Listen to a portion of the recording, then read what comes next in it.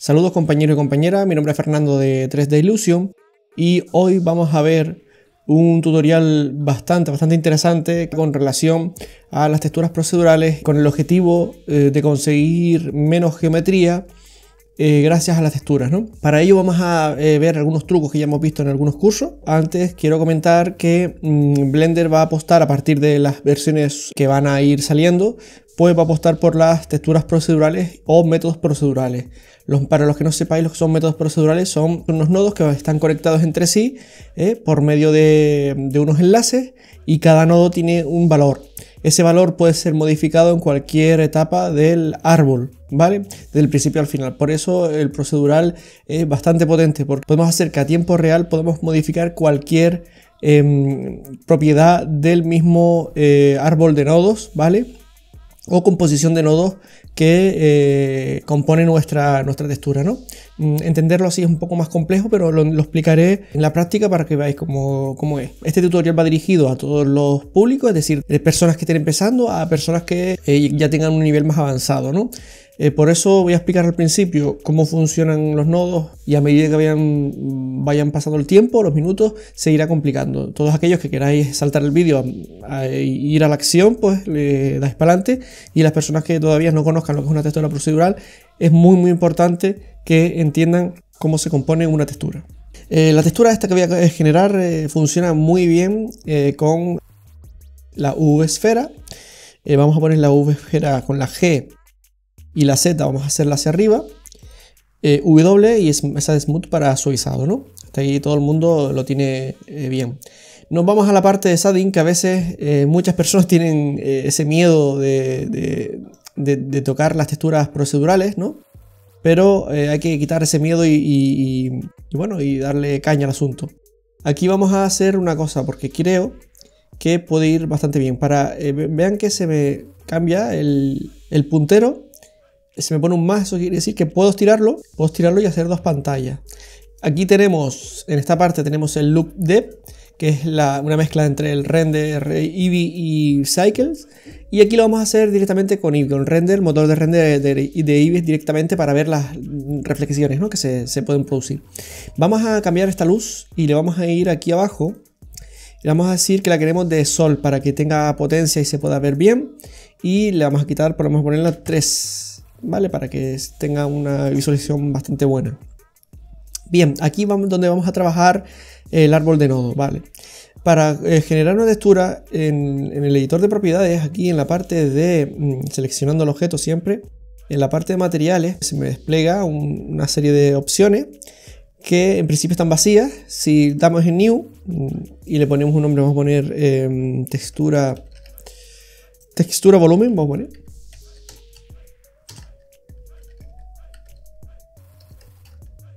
Bien, lo tenemos, textura volumen. Y eh, ya tenemos, se nos despliega o se nos abre un menú, unos nodos. Estos son los nodos que habíamos hablado anteriormente, ¿vale? Este es el nodo de salida. En la salida podemos hacer una salida por cara, que es el que está en habitualmente, por volumen, que es si queremos hacer, por ejemplo, humos y demás. Y tenemos una salida de desplazamiento, que es si queremos a través de una textura que nuestro objeto se deforme a razón de la textura. Vale, esto lo, daremos en otras ocasiones. Si creéis que debo hacer un tutorial, es importante, pues lo haré y es muy conocido este, este desplazamiento. ¿no? El problema del desplazamiento es que requiere muchísimo em, geometría para que funcione bien. ¿no? Bien, tenemos el príncipe. El príncipe simplemente es un nodo eh, donde podemos cambiar el color y poner el color que nos, se nos antoje y eh, podemos hacerlo eh, en metálico, traspasarlo a metálico, bajando el roughness, o sea, dejando el roughness a cero. Tenemos un color metálico. Yo voy a trabajar aquí y darle un poquito de eh, un poco de roughness, un poco. Roughness es la rugosidad. Vamos a trabajar este así, una, especie así. Bien, aquí en este nodo les invitaría a que lo practicaran. Aquí tenemos el base color, tenemos también que se llama surface color esto lo que va a hacer es que si yo pongo un color aquí, eh, me, haga el efecto de la piel, ¿vale? Que es una reflexión, eh, cuando las reflexiones eh, atraviesan nuestro objeto, pues que esa reflexión sea de un color, ¿no? Eso es la piel, por ejemplo, que cuando nos da la luz por, detrás, en las orejas, por ejemplo, se queda un color rojizo, ¿no? Pues eso lo podemos conseguir con, el Surface Characteristic, con el, con el Surface Surfaces eh, Color. Y aquí donde pone Surface Color es donde le damos la intensidad para que eh, no funcione, ¿no? Como ven aquí, porque es como una especie de mezclado. Yo lo voy a dejar a cero. Aquí tenemos el metálico, especular, el roughness, es decir, el metálico que ya lo habíamos dado, el especular es para que darle más intensidad al brillo, el roughness es para los brillos, el especular es la reflexión que eh, tiene nuestro, nuestro objeto. En este caso no se ve muy bien, pero sí eh, nos, da eh, más reflexión o menos reflexión. ¿vale? El round es el brillo que decía, la rugosidad. Aquí podemos hacer las transparencias para poder hacer vasos de cristal y, o lo que queramos, pero que sean transparentes. Y un poco, pues les invitaría a que practicaran un poquillo con este nodo que es bastante potente. Aparte de este nodo tenemos una serie de em, conexiones que podemos incluso complicarlo más, hacerlo mucho más complejo y llegar mucho más lejos porque em, podemos combinar ciertos nodos entre sí y hacer efectos pues brutales. Es decir, este em, editor de nodos es brutal, se puede hacer un montón de texturas, lo que hay que aprender a conocerlo y saber cómo funciona. De todas formas no hay mucho contenido de cómo funciona la... Eh, es el problema que hay de Blender, que no hay mucho contenido en español de cómo funcionan lo que es los nodos de, Blender, ¿no? Y qué se puede hacer con ellos. Pero bueno, cada vez habrá más tutoriales y, podamos entender cómo funcionan. Bien, lo siguiente que voy a hacer es eh, A. Voy a colocar un color RAM. Este nodo me parece perfectísimo, es un, un nodo de valores entre 0 y 1 que nos indica el color negro o transparencia y color blanco y relieve, si lo queremos ver así. Nos permite hacerlo de, varias maneras, que sea lineal, eh, por ejemplo el breeze plane es como más, más difuminado, eh, que no, que no haya un corte tan radical, ¿no? Yo lo voy a dejar en lineal para, porque es donde mejor funciona. Y eh, vamos a empezar a conectarlo donde pone color para verlo. En principio no hace, no hace nada. lo siguiente que vamos a hacer es conectar un nodo otra cosa a decir es que aquí también, si lo conectamos directamente a base color, que es el color del objeto, eh, vean que ya el color que tenía anteriormente ha desaparecido. Eso es porque cuando yo lo conecto, la propiedad que va eh, a predominar es la del nodo que tiene eh, conectado. Yo podría aquí también trabajar los colores. Los colores no serían tan intensos porque lo que va a hacer es una mezcla entre el blanco y el azul, ¿no? Vale, está haciendo porque están en lineal. Por eso tiene estos tonos. Yo lo voy a dejar negro porque eh, lo quiero como información, es decir, si nosotros lo dejamos en negro y blanco, este nodo podemos usarlo para, que nos dé una máscara o nos dé información, es decir, lo que decía antes, los negros será la transparencia y lo blanco pues lo que se va a ver, ¿no? Esto, por eso lo quiero dejar en blanco y negro. Eh, bueno, lo siguiente es Shift A, eh, aquí en donde pone Converter en Mat, este es un nodo de matemática. Este nodo es muy potente, con este se pueden hacer muchísimas, muchísimas cosas y se compone de una serie de fórmulas que nos indica aquí como eh, lo que es el mínimo, máximo, le están, eh, dividir, multiplicar, sustraer, añadir. Esto es para añadir en capas, ¿vale? Por si queremos añadir, que lo vamos a utilizar ahora en el, en el árbol de nodos que estamos fabricando. Si yo conecto el nodo, eh, el nodo de añadir con el nodo de color no va a hacer nada. Para que haga algo vamos a hacerlo. Si presiono control T, se me abren tres nodos este nodo lo voy a, em, lo voy a borrar, no me interesa. Y en medio, para poder conectar este nodo con este, necesito un nodo intermedio. Ahora os voy a explicar qué es lo que estoy haciendo. Shift A, eh, vamos a conectar, por ejemplo, en convertir. Yo lo que voy a decirles que, que lo que quiero es que la textura se me, proyecte, se me proyecta solo en un eje, ¿vale?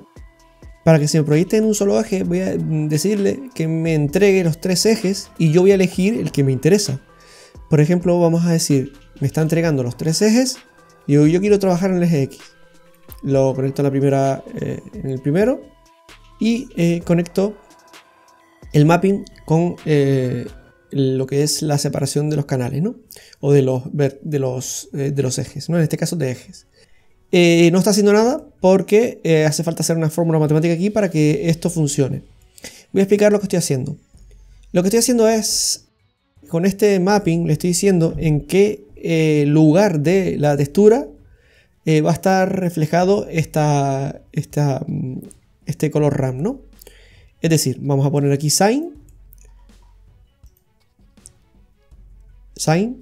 Vale, ¿por qué sine? Sine es el coseno, el, el, seno. Está el seno, coseno y tangente. El seno es eh, el ángulo em, de un triángulo, tiene tres caras, por ejemplo, o tiene tres... Sí, tiene tres caras. Eh, esas tres aristas, eh, las aristas tienen entre unas y otras hay unos ángulos. Pues el seno calcula el, ángulo que tiene cada, cada arista, por decirlo así, ¿no? O cada lado de ese triángulo, ¿no?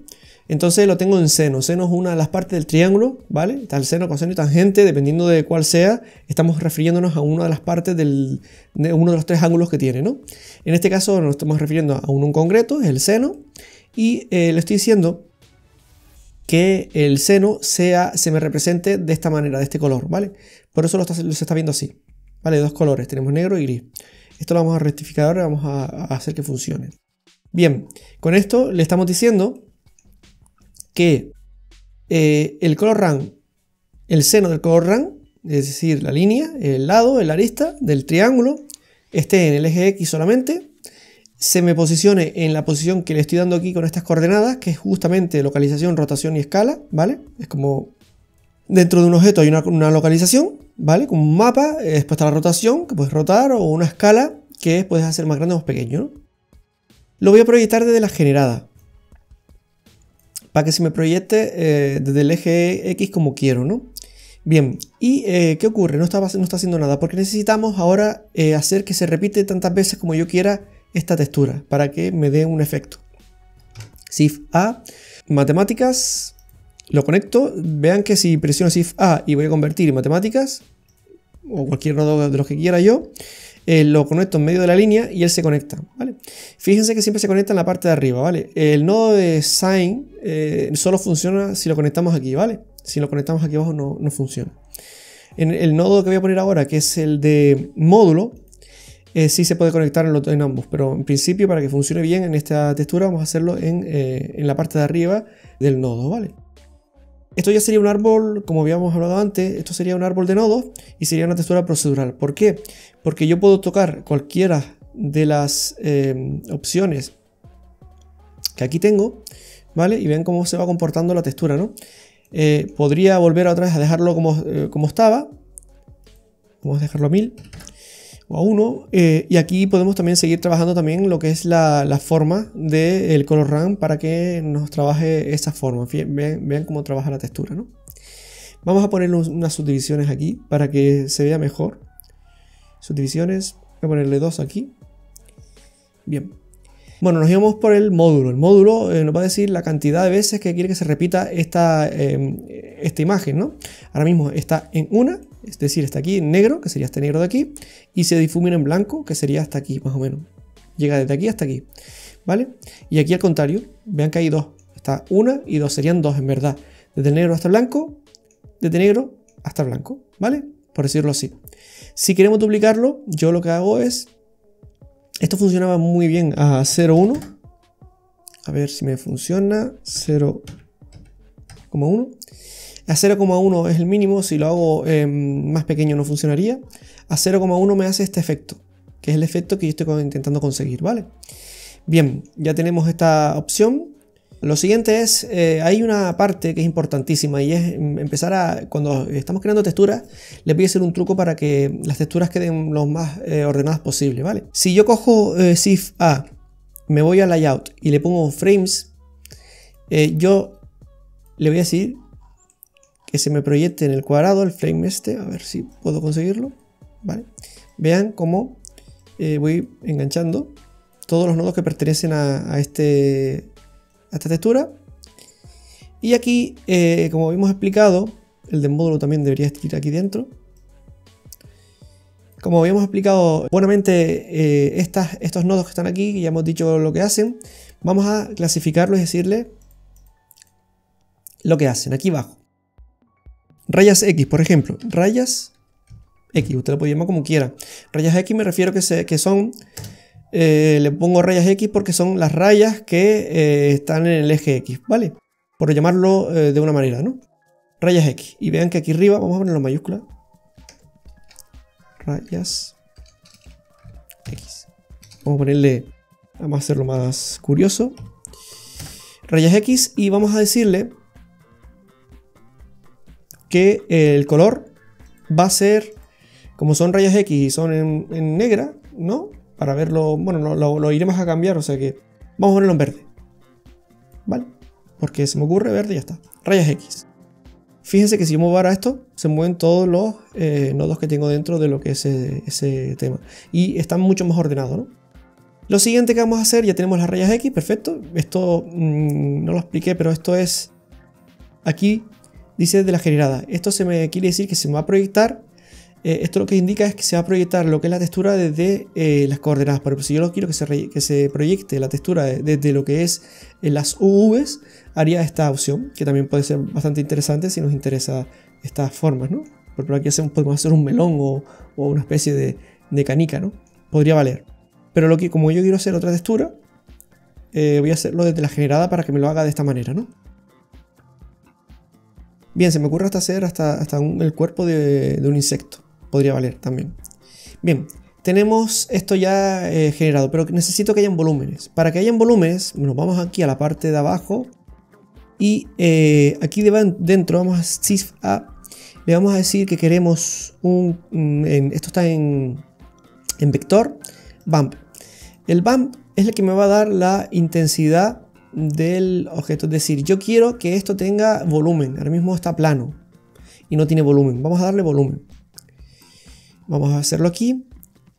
Vamos a, eh, conectar un Shift A Color Run porque así tengo máximo control. Con el color, color ahora lo veremos, tenemos máximo control sobre, sobre las texturas. A veces el color run nos ayuda a eso, a darle más intensidad o menos intensidad. Ahora lo vamos a ver para que vean cómo funciona. Eh, aquí está el color run. Y después vamos a ponerle uno de multiplicar. Eh, para que se intensifique lo que es el efecto, ¿no? Multiplicar. Y aquí abajo le vamos a poner el valor que nosotros queremos que se multiplique. Le damos esto aquí. Y se me queda eh, el valor aquí abajo, que es el que me va a dar el dato. Y lo que hago es como eh, eh, la salida, quiero que se me haga que se me proyecte la misma textura que se me está proyectando arriba en el color, que se me proyecte en lo que es el volumen. Vamos a verlo. Bien. Aquí tenemos, tenemos una especie de volumen. Vamos a darle un poquito creo yo, para darle más intensidad a esto y que... ¿Sí? ¿Vale? Vean cómo se va comportando esto, ya tiene un poquito más de volumen. Y si yo trabajo esto, vean eh, lo que podemos conseguir, ¿no? Vamos a dejarlo a 3. Y con esto jugamos un poquito. Vean lo que estoy generando, ¿no? Vamos a hacerlo un poquito así. Así se me genera eh, esta forma pues bastante curiosa. lo tenemos de otra manera, pero porque es la iluminación y le faltan eh, ciertas cosas, ¿no? Eh, yo lo nombraría para saber que esto es el volumen. Vamos aquí y le decimos if a layout y lo hacemos lo que hicimos antes.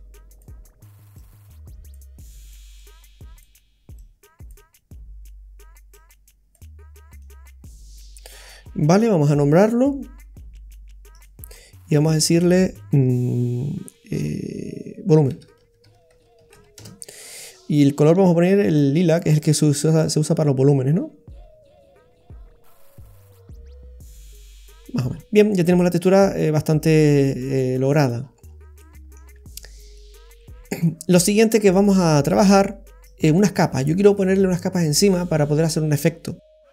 Eh, SIF A, vámonos a eh, otro mm, vamos a poner otro nodo de matemáticas y a este nodo lo vamos a llamar acercarlo Lestan. Lestan me va a añadir una capa eh, sobrepuesta encima de esta, pero para que me la añada sobrepuesta, vamos a ir trabajando esto hacia atrás porque si no, no me va a caber todo. Y como ya lo tengo referenciado por colores, pues se va a ver mejor. Para que me funcione, fíjense que yo tengo en el color, tengo eh, las formas estas, las tengo en el color, en la parte de arriba. Tengo aquí conectadas en el base color, ¿vale? Y los volúmenes los tengo conectados en el normal a través de un bump con un multiplicador para que multiplique la distancia y con un color para eh, poder eh, trabajar un poco la textura y poder regularla ¿no? lo máximo posible. Para que funcionen las capas unas encima de otras, eh, yo lo que voy a hacer es colocar un nodo de matemáticas de añadir. Es decir, esta sería la capa 1. Si yo le pongo, vamos a poner esto aquí, yo le voy a poner esto aquí. Quiere decir que esta capa que estoy creando aquí ahora mismo va a estar por encima de esta. Vale, ahora lo veremos. Para que funcione, tengo que decirle en qué eje voy a trabajar. Control T, lo mismo que hicimos antes, le quito el de. Le quito el de texturas. Conecto este aquí. ¿Por qué utilizo este no hace falta? Porque ya lo tengo aquí y lo puedo aprovechar en este generado. Pero sí necesito que haya otro mapping eh, con lo que es la capa, ¿vale? Para que funcione y se me proyecte el mismo eje, porque si yo hago esto, vean que ya está funcionando, pero mm, se me proyecta en una cara que no, es la que yo quiero. Vean que se me proyecta aquí. Yo creo que se proyecte del, mismo lado que, que, está la textura esta, ¿no? Para eso, lo típico que hicimos antes, Vamos a convertir, eh, separar, ¿vale? En el eje X. Ya tengo, vean que ya está la misma opción. Por lo tanto, ya me da el juego que necesito que me dé. Vamos a hacer una cosa. Vean que mm, este está conectado aquí abajo. Para que me dé la misma proyección y se me quede eh, bien conectado, hay que conectarlo así, ¿vale? De esta manera. De esta manera lo que estamos haciendo es creando las capas. Vamos a poner aquí capa, capa 1. A ver, sería, esta es la capa 1 y esta sería la capa 2. Voy a ponerle capa 2, Shift A, eh, layout, frames, vamos a meter esto aquí dentro y aquí vamos a ponerle capa 2. Azul, ven, color azul. Vean que ya tengo capa 2, ¿no? Esto quiere decir que ya tenemos un eh, una opción muy, muy, muy buena de, nuestro objeto. Vamos a ir trabajándolo aquí. A ver si yo le... Bueno, podría ser otra opción. No, no me gusta. Vamos a darlo a 2. Hasta conseguir lo que quiero. Podemos hacer un ojo, por ejemplo. Vamos a seguir trabajándolo porque no, no me convence.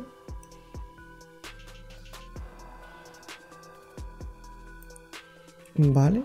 Este no se comporta tan bien porque no, hay reflexiones y no, se ven bien. Pero en este caso sí las tiene y, me están dando la proyección.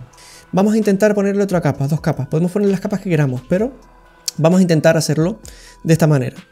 Y vamos a aprovechar quizás utilizando otro Shift A, Control D, perdón, para duplicarlo. Lo vamos a poner aquí. Le vamos a decir también que sea en el eje X. Y le vamos a decir que se enganche aquí. Shift A, eh, Converter, matemáticas, vale. Eh, entre estas dos, al poner un nodo de añadir y ponerle aquí arriba el primero, este es el, es el primero, que sería este. Después este, el de abajo, sería el segundo, que sería este. Y este sería el tercero, ¿vale? Para ello tenemos que conectar solo aquí.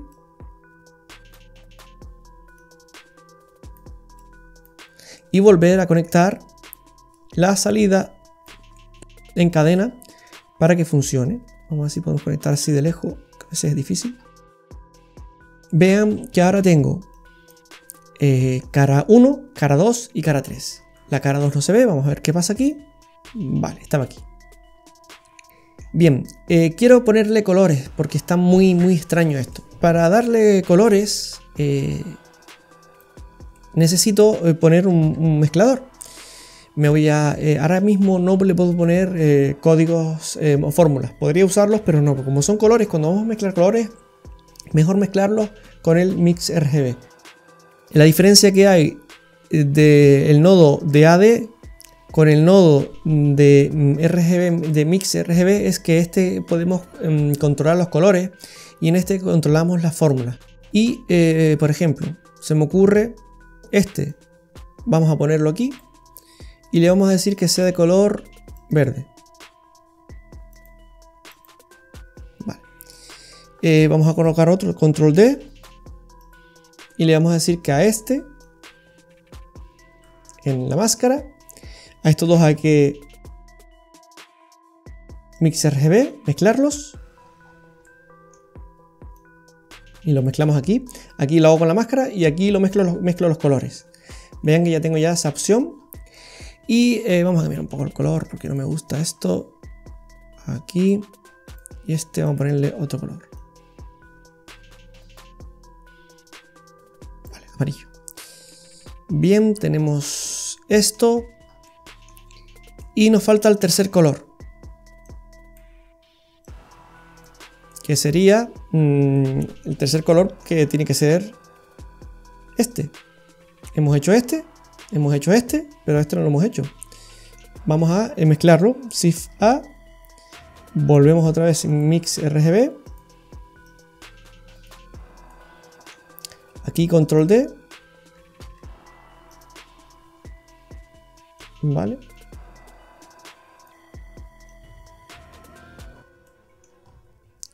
Vamos a conectarlo a la número 2. Y este vamos a decirle que quiero la máscara. Vamos a ver si me deja.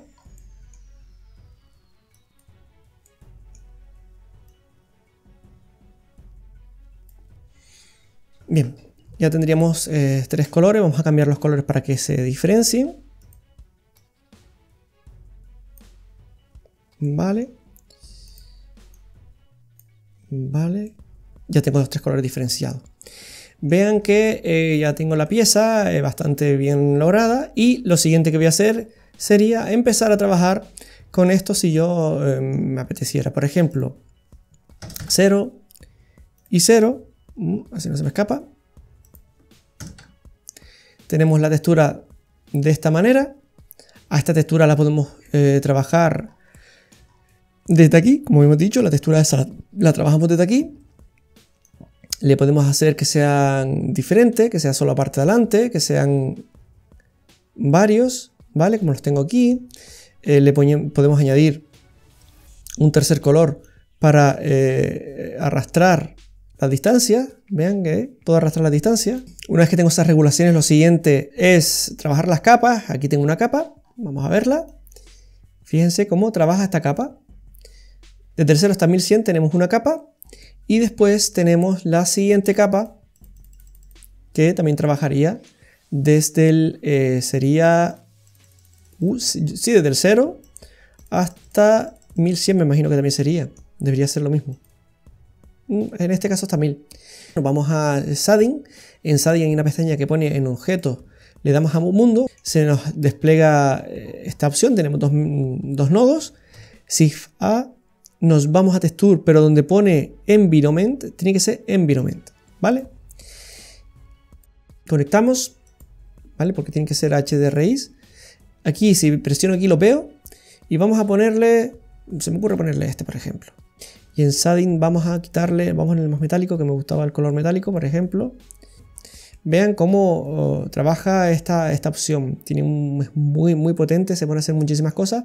Vamos a trabajar un poco las formas. Mm, esto sí que es más complejo, dependiendo de la forma.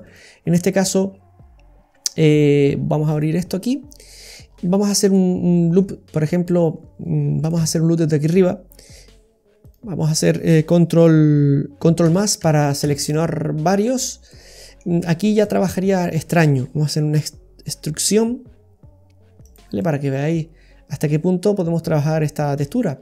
Incluso vamos a hacer una cosa, vamos a intentar, como tiene el círculo por toda esta parte de aquí, claro, en este caso mm, eh, el loop no funcionaría, pero bueno, vamos a hacerle, a ver qué ocurre, solo para ver qué ocurre y a ver si, si realmente es funcional. Vale para muchas cosas, es decir, instrucción, fíjense qué potencia, este, que tenemos esto aquí y ya estamos haciendo una pieza que brutalmente ya cambia un poco el aspecto de, de nuestro modelo. Fíjense que ya tengo esta pieza así y ahora me voy a shading y puedo seguir trabajando esto, las capas, mire, puedo trabajar las capas y lo cubro totalmente de un color y lo vuelvo a abrir como si quiero hacer una animación de lo que quiera que quiera hacer yo o si eh, por el contrario quiero em, cambiarlo de color y poner otros colores. Fíjense la capacidad que tenemos con estas formas, ¿no? Eh, si ponemos esto a cero, esto lo ponemos a cero. Espero que les haya gustado el tutorial, que lo disfrutéis. Y nos vemos el próximo martes con eh, más cosas interesantes, más novedades y más trucos para poder usar. Gracias y hasta el próximo martes.